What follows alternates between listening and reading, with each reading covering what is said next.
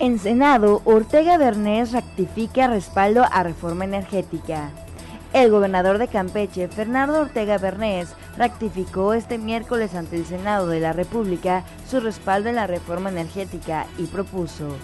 en el marco de un renovado esquema de federalismo fiscal y de justicia republicana hacia las entidades petroleras, modificaciones a la ley de ingreso sobre hidrocarburos para salvaguardar la permanencia de fondo de extracción en la materia y poder encarar los retos mayúsculos que se enfrentan en infraestructura urbana y servicios públicos derivados de la industria petrolera.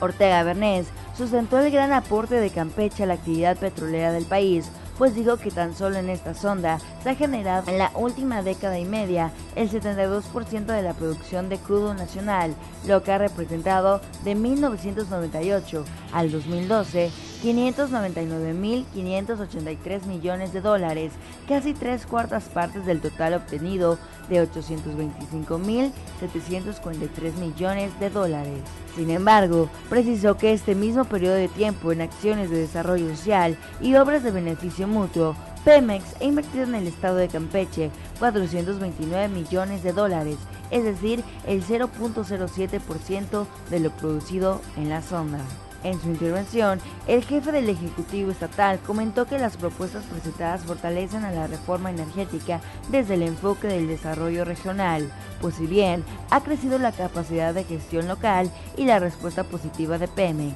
aún faltan muchos más pasos que dar para llegar a la retribución que merecen los, que merecen los estados petroleros por su aporte a la principal industria de este país y los impactos sociales y ambientales que registra.